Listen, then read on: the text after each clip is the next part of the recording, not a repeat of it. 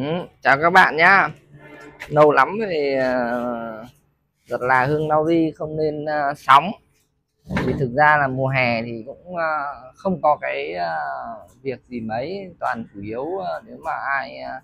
làm được vài năm thì có nhiều tiền chủ yếu là mùa hè đi du lịch với cả uh, nghỉ ngơi tập thể dục tập gym để lấy sức đi uh, lấy, lấy sức ừ, mùa đông còn cày nhưng thôi uh, cái việc giặt là nhiều khi mình cứ nói mãi đến cái uh,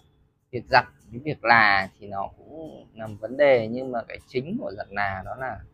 các thiết bị máy móc để có thể hoàn thiện sản phẩm rồi là uh, làm các sản phẩm nhanh và số lượng lớn. Thì đó là máy móc máy móc trong móc của ngành giặt là nó rất là tốn kém. Nó đắt hơn nhiều khi như một cái cửa hàng của mình, nếu mà mua máy móc mới nó còn đắt tiền như mua một con xe xịn Camry chẳng hạn. Đấy. Nó có thể, nếu mua mới nó tốn đến tiền tỷ. Thế nên buộc, mà kiếm ăn được thì buộc phải mua máy cũ. Hôm nay à, người dần là như mình sẽ à, chỉ cho các bạn cách mua máy cũ và hôm nay là cái phần giới thiệu là cái nguồn máy cũ ở Việt Nam nó đến từ đâu. Đấy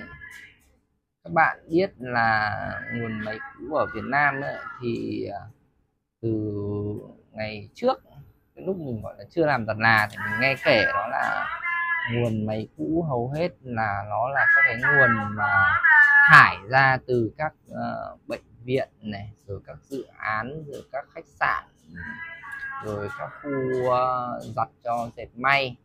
thì nguồn gốc máy móc đó là hầu hết là đều là xuất xứ từ châu Âu hoặc là Mỹ. À, rồi là một số máy lớn dòng máy lớn để giặt quát nên là từ Đài Loan. Còn rất là ít là từ một số ít là từ Nhật Bản thôi. Thế nên là những cái dòng máy cũ của Âu Mỹ đấy thì thực chất ra là nó sẽ bán à, tức là từ ờ, đầu tiên là từ các dự án xong bán cho các xưởng. Các xưởng ừ, làm giặt nà xong rồi đến khi nó hết đát rồi lại lại lại bán bỏ đi xong lại sửa lại, xong lúc đấy mới bán cho dân. Đấy, người làm giặt nà. Thế nên những cái máy mà dòng ông bị nó rất là lát.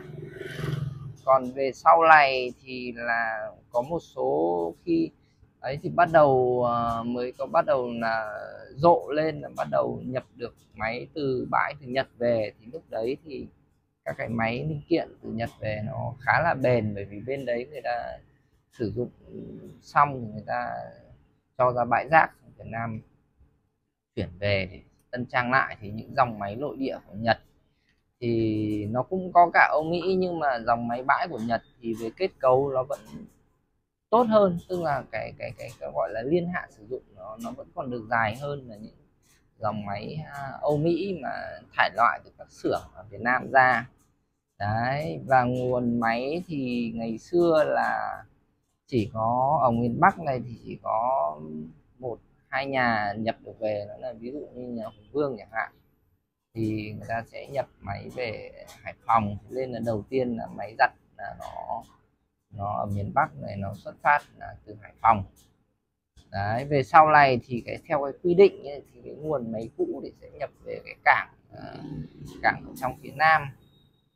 nguồn điều hòa đều biết, giống như là máy bại máy biết thì phải nhập trong miền Nam. Thế nên là như một số cái vựa, máy thì, máy giặt công nghiệp này, máy sấy công nghiệp thì nó lại sẽ nằm trong miền Nam. Là chính, nhưng mà cái thị trường ở trong Nam thì, đặc biệt ở trong Nam thì nó là khí hậu nóng ẩm quanh năm nên là nó không ưa chuộng nhiều dòng máy công nghiệp lớn, nên là chủ yếu lại là tiêu thụ ở phía Bắc thế nên là thường ở ngoài Bắc phải sẽ vào mua ở trong miền Nam những uh, các cái uh, xác máy đó và về các đơn vị ở ngoài này tân trang lại và bán. Thế nên là cái uh, máy thì nguồn máy chính thì bây giờ lại ở trong Nam nhưng mà gọi là nếu mà kỹ thuật sửa hay độ lại máy tốt thì nó lại ở ngoài phía Bắc bởi vì nhu cầu chính sử dụng máy này là, là máy ở ngoài Bắc nên là nhiều khi uh, các bạn uh, là người buôn ấy, thì có thể chọn đi mua hoặc là thợ có thể chọn mua đặt mua từ trong Nam hoặc là có thể đặt mua thẳng từ Nhật xong rồi sẽ theo các đường vận chuyển sẽ chuyển về cảng phía Nam chuyển ra. Nhưng nếu một người mua bình thường mà bạn chọn mua một đơn vị trong Nam thì cái cái cái cái cái, cái khâu bảo hành ấy, tức là người ta sẽ vẫn bảo hành cho các bạn nhưng mà cuối cùng vẫn là phải gọi ra một đội thợ ngoài Bắc để đi bảo hành. Thế lên là thời gian một cái máy mà đến khi mà sửa bảo hành thì thường nó sẽ kéo dài đến hàng tuần. Tức là các bạn sẽ, cái máy nó sẽ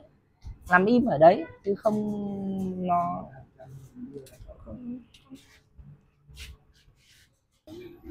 đấy, thì các bạn sẽ uh, nếu mà muốn mua được các nguồn máy mà cũ rẻ thì ví dụ như là một người khuyên mình như các xưởng thì có thể các bạn sẽ phải tìm một số cái dòng máy mà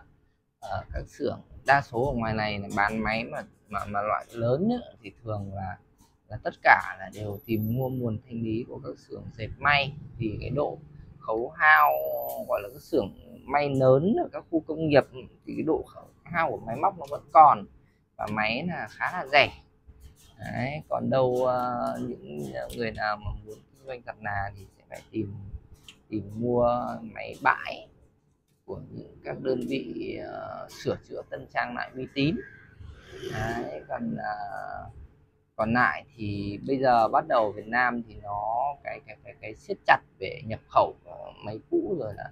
các cái kỹ thuật của Việt Nam lên thì bắt đầu có những cái dòng máy sản xuất ở Việt Nam nó cũng khá là tốt rồi. Nó chỉ có điều là mẫu mã bởi vì mẫu mã nó liên quan đến cái cái công nghệ để để gia công nó nó nó, nó sẽ tốn kém rồi là đầu vào lớn thì thì mẫu mã nó không đẹp thôi còn chất lượng của máy sản xuất ở Việt Nam cũng rất là tốt. Và giá thành nó còn hợp lý hơn cả máy nhập về từ Trung Quốc. Và bảo hành thì đương nhiên là bảo hành nó sẽ